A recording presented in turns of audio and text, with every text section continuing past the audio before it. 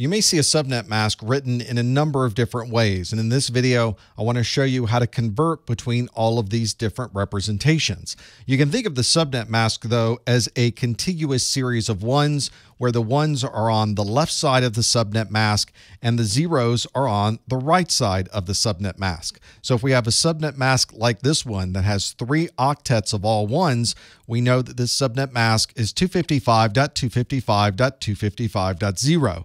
You might also see this subnet mask written as a slash 24. That means there are 24 bits in this particular subnet mask in these first three octets. This is also called a CIDR block notation, CIDR, that stands for classless interdomain routing. You might also hear this referred to as a prefix notation or slash notation because we use the slash 24 to specify the number of bits because we use this slash to designate the number of bits that will be used for the subnet mask. So for a subnet mask of slash 24, we know that that is the size of the network, and the remaining bits, which would be 8 bits in this case, would be the number of bits available for hosts. Let's perform some conversions between the binary representation of the subnet mask and the CIDR block or the slash type notation of the subnet mask.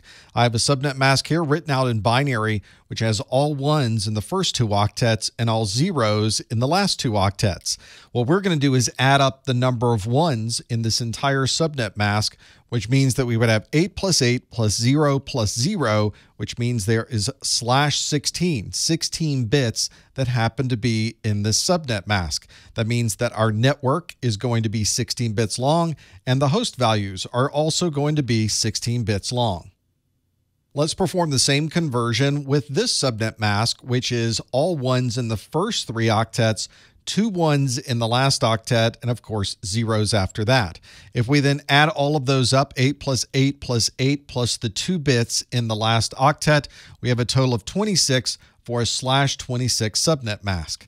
This means that the network is going to be 26 bits, and the host value will use the 6 bits at the end. And here's another binary subnet mask, which is all ones in the first octets, four ones and four zeros in the second octet, and then all zeros after that.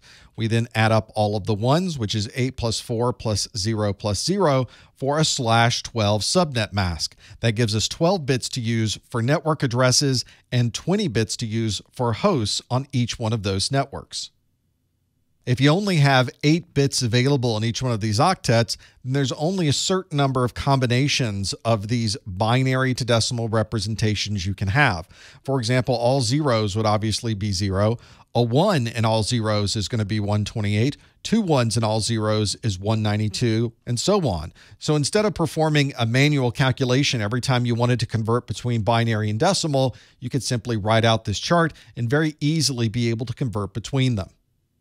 So let's take the subnet mask that we used before, which was all ones in the first octet and four ones in the second octet and zeros after that. We know that all ones, if we look at our chart, is 255, and then four ones and four zeros, if we look at our chart, is 240. So this subnet mask would be 255.240.0.0. We know that there are 12 ones, so the subnet mask will be a slash 12 CIDR block address, giving us 12 bits for the network and 20 bits for all of the hosts that would be on each network. Let's use our chart to perform the same calculation with this subnet mask. In binary, it's all ones in the first octet, all ones in the second octet, and three ones in the third octet. Well, we know that all ones is going to be 255, and three ones and the rest zero would be 224, making the subnet mask 255.255.24.0. And if we add up the number of ones, there are slash 19 for this subnet mask, giving us 19 bits for the network and 13 bits to use for hosts on each of those networks.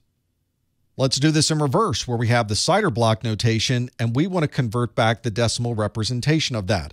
We have a slash 26 as our subnet mask. If we write this out manually in decimal form, there are 26 ones and then the remaining zeros for the subnet mask. If we look at our reference chart, we know that all ones is 255, and then two ones at the beginning would be 192, making this subnet mask 255.255.255.192. 26 bits for the network address and 6 bits for the hosts on each network. And let's do one last conversion, see if we've really got it. We'll do a slash 20 subnet mask. We'll write this out manually in binary form with 20 ones, and the rest would be zero. We know that the all ones is 255, and a four ones and four zeros, looking at our chart, is a 240. So our subnet mask is 255.255.240.0, making the network 20 bits long and the host 12 bits long.